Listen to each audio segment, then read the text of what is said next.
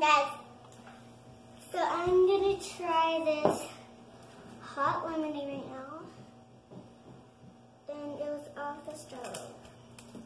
So ready for me to drink it? I'm so excited because I love lemonade.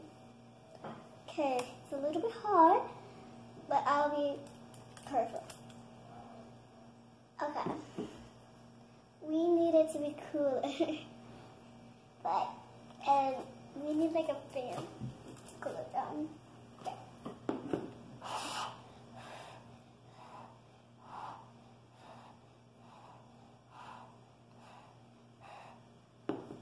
That's. that